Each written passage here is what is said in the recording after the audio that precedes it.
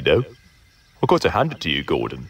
This might have just been your worst idea ever. Oh, please, Henry, like you would have thought of something better. I would have at least constructed a plan of some sort before I roped my work colleagues into it. I had a plan. It, it, it just. It, it just what? It got. It got lost. Oh, it got lost, did it now? Yes, it did. You're an idiot, Gordon. Shut up, Henry. I only wanted us to be treated better here. Yeah, and look how that turned out. oh, out. Shut up! Shut up! Both of you shut up! Holy crap, please shut up! The hell is wrong with you? What do you mean what's wrong with me? I listen to your dumbass, that's what's wrong with me! Now and Matt thinks I'm a disrespectful piece of garbage engine who doesn't follow orders thanks to you! You already didn't do that anyway, James. Shut up, Henry! Actually, shut up! Ah, look at this. I knew that heated argument sound was coming from somewhere. Oh, please, no. My, my, let's just take a moment and look at this. This, this is rich. Hey, Gordon, I'd hurry up if I were you. The express is due soon. Oh, wait. Oh, wait, you can't, can you? Because you're stuck in this shed because you're an idiot. Bringing Henry and James down with you, too. That is, that is unfortunately impressive.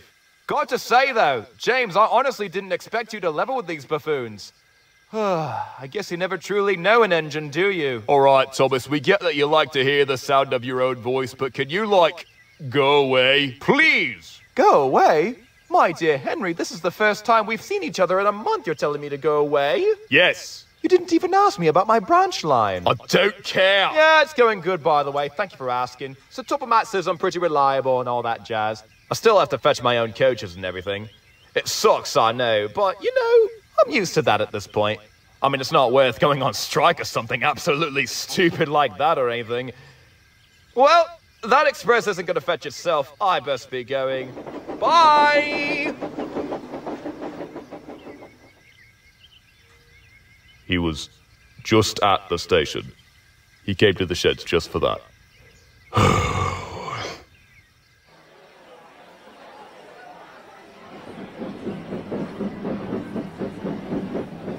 All right, Edward, let's blow this popsicle stand. Oh, you got the coaches all ready for me. Thanks, Edward. Thomas, where have you been? The express is due in two minutes. Oh, I was just catching up with some old friends. Catching up with some old friends?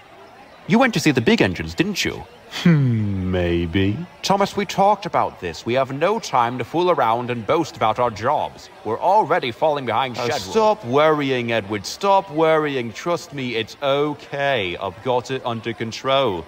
Who's number one here? You are. That's but right. But Thomas, you need to be more serious about this. There's... Bye, Edward.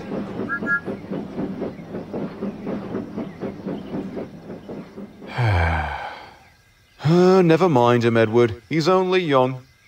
Hmm. We've been running this railway together for six years now, Ted. Sometimes I wonder to myself, when is he going to grow up? I'm sure someday, old boy. Someday.